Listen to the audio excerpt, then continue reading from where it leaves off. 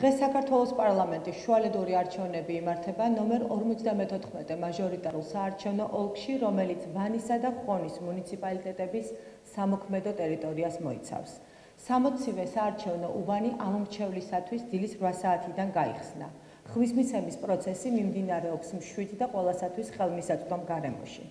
საქართველოს პარლამენტის შუალედურ არჩევნებში მონაწილეობას იღებს 6 კანდიდატი, მათგან 5 წარდგენილია პოლიტიკური გაერთიანების, ხოლო 1 კანდიდატი საინიციატივო ჯგუფის მიერ. დღეს ამომრჩევლებს გადაეცემათ მხოლოდ ერთი ბიულეტენი პარლამენტის მაჟორიტარი დეპუტატის ასარჩევად. აღსანიშნავია, რომ 28 აპრილის არჩევნებს 26 ადგილობრივი სადამკვირვებლო ორგანიზაციის 721 და სამი საერთაშორისო ორგანიზაციის 14 დამკვირვებელი დააკვირდება. არჩევნების დღეს აშუქებს 19 მედია საშუალების 504 წარმომადგენელი. ასევე საარჩევნო პროცესს აკვირდება საარჩევნო სუბიექტების 461 წარმომადგენელი. 28 აპრილს საღამოს 8 საათზე კენჭისყრის პროცესის დასრულების შემდეგ დაიწყება ხმების დათვლის პროცედურები. მას შემდეგ, რაც შედგება საუბნო შემაჯამებელი ოგმები, შესაბამისი საოლქო საარჩევნო კომისიების მიერ დაუყოვნებლივ მოეწოდება ცენტრალურ საარჩევნო კომისიას, სადაც მიღებისთანავე აიტვირთება კომისიის სპეციალურ ვებგვერდზე results.cc.gov.g. 28 აპრილს დილის 7 საათიდან ღამის 12 საათამდე იმუშავებს ცენტრალური საარჩევნო კომისიის სატელეფონო საინფორმაციო ცენტრი, რომლის ტელეფონის ნომერიც არის 2510051. ასევე იმუშავებს ონლაინ ჩატი.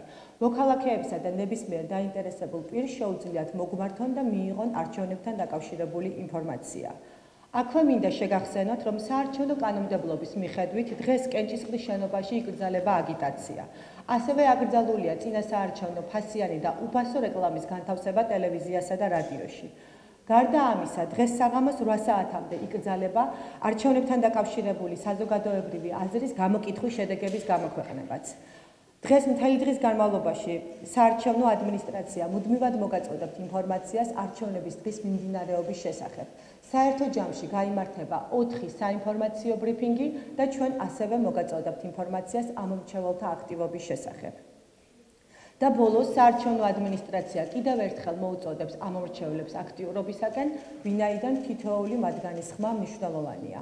გარდა ამისა, საარჩევნო ადმინისტრაცია ასევე მოუწოდებს არჩევნებში ჩართულ ყველა მხარეს ხელი შეუწყონ არჩევნების მშვიდ და თავისუფალ გარემოში ჩატარებას.